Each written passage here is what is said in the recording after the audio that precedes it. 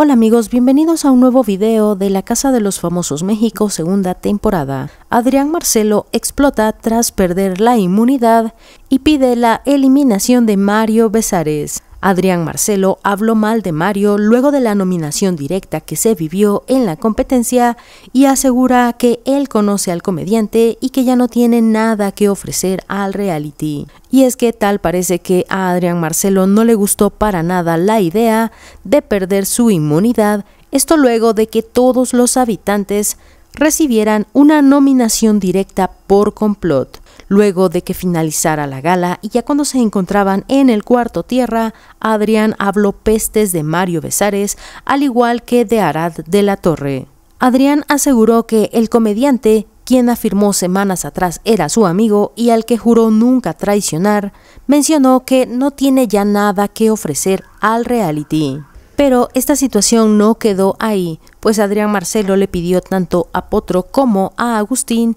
que dejen de jugar con Mario, porque considera que ellos son los que lo están haciendo grande frente al público. Adrián le pidió a Potro y a Agustín que no bromeen con Mario, que no se acerquen a él, porque lo están haciendo grande y que la gente se divierte con ellos, pero que es mejor que este foco de atención no se lo den a Mario Besares. Adrián continuó hablando mal de Mario, asegurando que él lo conoce, pues reveló que él conoció a Mario cuando se encontraba en multimedios y que su manera de actuar es así, asegurando que Mario nunca va a mostrar un sentimiento como de querer traicionarlos y que incluso frente a ellos les va a decir que los quiere mucho, pero que cuando menos lo esperen los va a traicionar. Ahora bien, Adrián no solamente criticó a Mario Besares, sino que también a Arad de la Torre, resaltando que ya no deben de creer nada de lo que diga Arad, pues él ha querido vender una historia desde el momento que entró a la competencia,